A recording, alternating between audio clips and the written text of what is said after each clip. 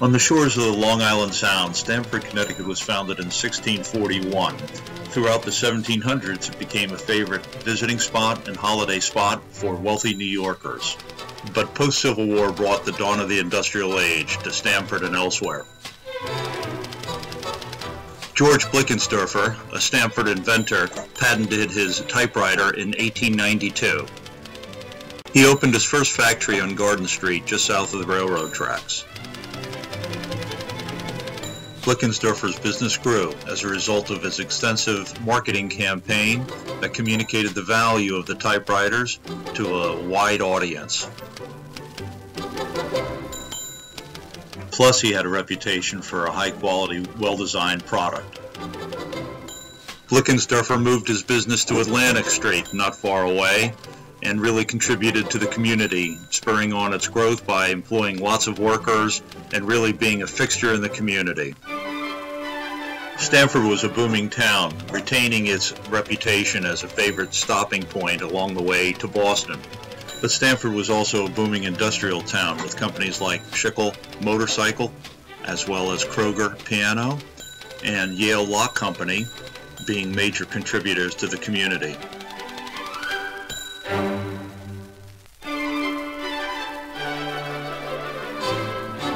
The dawn of the 1900s, people were on the move and business was booming.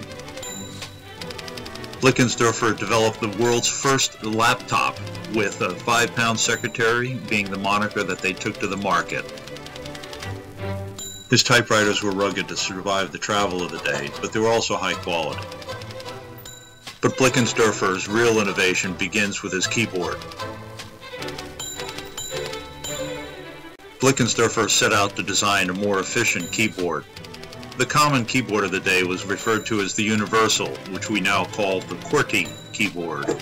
His analysis showed that while a third of the keystrokes occurred on the home row, nearly a half took place on the upper row, which was the most difficult to reach. So Blickensderfer developed what he called the scientific keyboard, where you placed your fingers at the lower row and that comprised 70% of the keystrokes. Blickensderfer also developed the interchangeable type wheel. As you press one of the keys, the type wheel rotates and hammers down to the paper.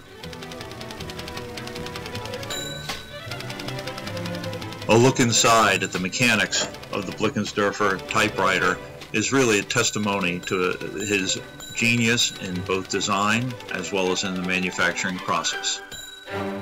The interchangeable wheel also allowed him to provide different character sets for different languages, opening up his worldwide opportunities and growing his market.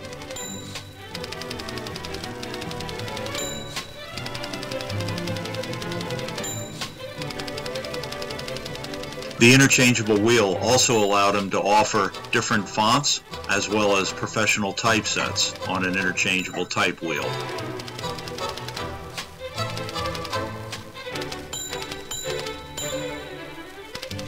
Blickensderfer's design also allowed the user to see the carriage much more clearly than with other designs. Therefore, they could see the print soon after it was typed. Normal operations would include the space bar, paper advance, as well as the carriage return to line advance as well. Another of his innovations was a carriage attachment that actually tabulated columns of numbers, much like a modern-day spreadsheet would.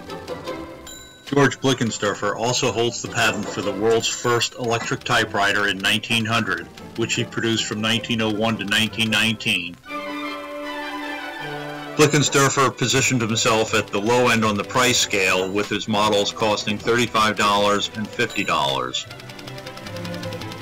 And of course there was a supply business for ink rolls as well as ink itself and other supplies needed to operate it in addition to a full line of furniture custom designed for the Blickensderfer typewriter.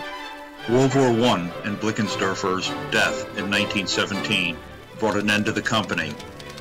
Stamford, on the other hand, has retained its beauty while prospering throughout the centuries.